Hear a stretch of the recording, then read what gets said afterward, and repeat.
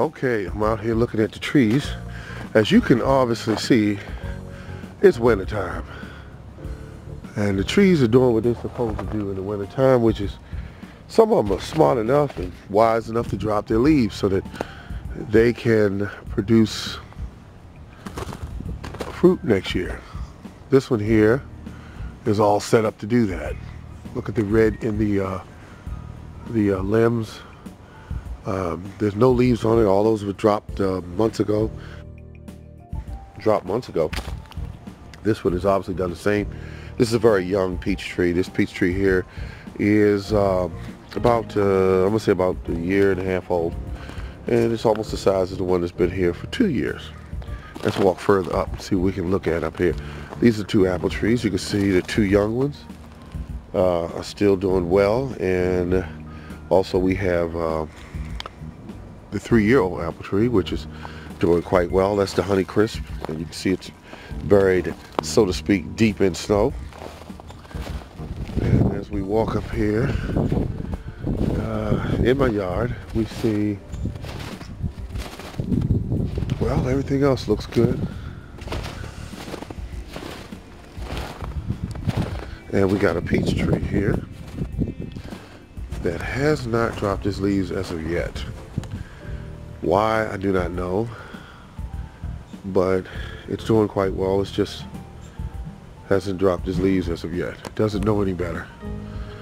And here we have a, uh, what kind of tree is this? I have so many. Uh, this is a cherry tree, yeah, cherry tree. And it has all the spurs on it. Those where you, where you get your fruit from. This one here is a Bing. And it's going to give me some cherries hopefully this year. And here's another Bing over here. It has some spur development on it.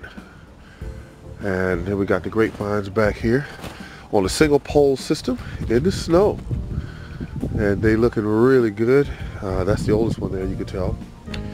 Those were grown from seeds that I purchased at the grocery store. And it will one, two, three, four, five, six. And this will be the seventh. And also I got some uh, other grape cuttings in the garage. And here we have the onions underneath the snow. And over here is a another cherry tree. This is a tortellini. It's a larger dark cherry. And it's doing quite well. Have some spur development on it. Not a lot. But it's, uh, it's doing good. And we got some cat up there. Uh, he's just watching over for some reason. And so, and this is the rest of my um, garden. It's, it's, like I said, it's pretty much under snow.